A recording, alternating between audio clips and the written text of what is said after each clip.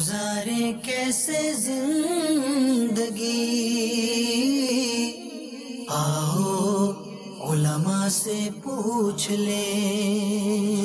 حضرت ابو بکر صدیق رضی اللہ تعالیٰ عنہ فرماتے ہیں میرے پاس ایک غلام ہے جو اندر سے کالا ہے باہر سے چٹا ہے بلال اوپر سے کالا ہے اندر سے چٹا ہے۔ ہائے ہائے۔ یعنی ایک ایسا غلام ہے جو اندر سے کالا ہے باہر سے چٹا ہے۔ وہ میرا غلام ہے۔ اور یہ جو بلال ہے نا میرے محبوب کا غلام۔ یہ بظاہر کالا ہے۔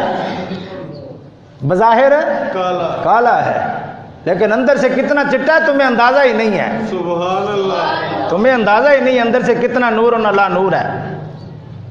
بلال ابشی رضی اللہ تعالیٰ عنہ کے حوالے سے جب امیہ نے دیکھا نا کہ ابو بکر کا اسرار تو بڑھ رہا ہے تو اس نے کہا نہیں پہلے تو غلام کا غلام کے ساتھ سودا تھا نا. تو اس نے کہا نہیں ہونا ہے نہیں گل بننی. آپ نے فرمایا کیویں گل بنتی؟ اونج دس میں اونج بنان تیار بیٹھا سبحان اللہ! یہ ابو بکر کی ذات ہے۔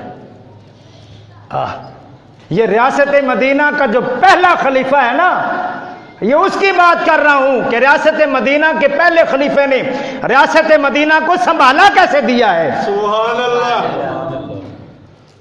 خالی نام لے لینا ریاست مدینہ تھوڑا ہے۔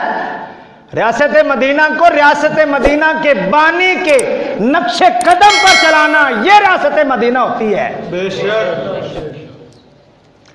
ابو بکر صدیق رضی اللہ تعالیٰ عنہ فرماتے ہیں امیہ مانگ کیا مانگتا ہے؟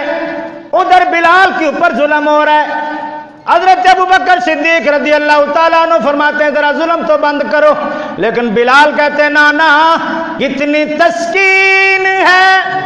وابستہ تیرے نام کے ساتھ